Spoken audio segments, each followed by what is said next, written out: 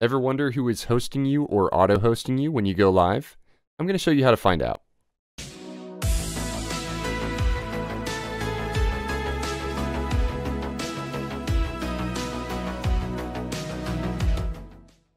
Hi, my name is Chase and I stream two out of every three days on twitch.tv slash chasebeyond.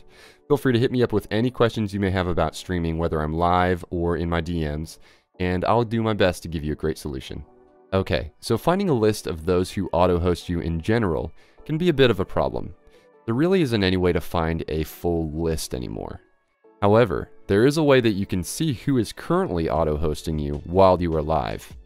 Alrighty, now I'm going to show you where to find what you're looking for. So uh, I'm going to start from the main Twitch page, and then I'm going to go up to the upper right, click on my profile picture, and then go to Creator Dashboard. Okay, from your Creator Dashboard, what you want to do, you want to go up here by where it says Stream Manager and click on Edit Stats and Panels. Click on that little pencil. And from there, it's going to show a pop-out a bunch of extra panels you can add to your uh, creator dashboard. Uh, so what we're looking for is the hosting you panel. Now, if this isn't already on there, it's going to be in here. Otherwise, uh, it's going to be already on here somewhere. Uh, so if it's not, go ahead and click the plus, and it will add it to your dashboard. And you can move it around wherever you want. I'm just going to move it down here uh, where it's nice and easy. We're going to move this. And then uh, we're going to grab this, and I'm going to make it a little bit smaller there for when I go live. Uh, so now what you will notice is that it says you are offline. You must go online to see who's currently hosting you. So I can't really show you uh, because I am recording a YouTube video. Uh, and uh, so I'm not actually live right now. But um, if I am live or if you are live, you will see this populate within probably 10 minutes of those who are auto hosting you um, when you go live while you are live.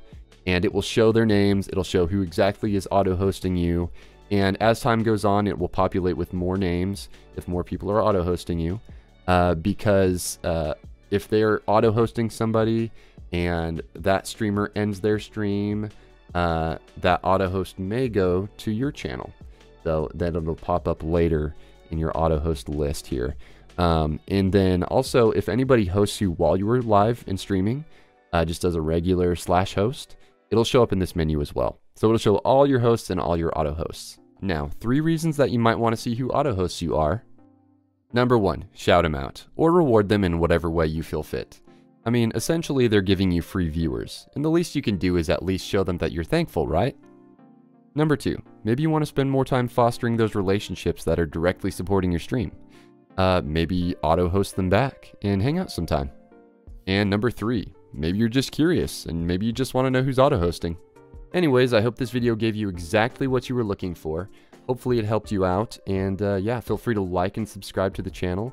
Uh, and we're getting pretty close to 100 subscribers on the YouTube here. So that means we'll get a custom URL pretty soon. And that's pretty cool. And again, feel free to check us out on twitch.tv slash chasebeyond. There's a link to that in the description box below, along with our other social outlets. Have a wonderful day, and I will see you on the next one.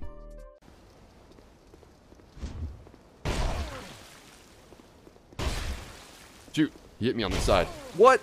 Dude, how does he hit me with that?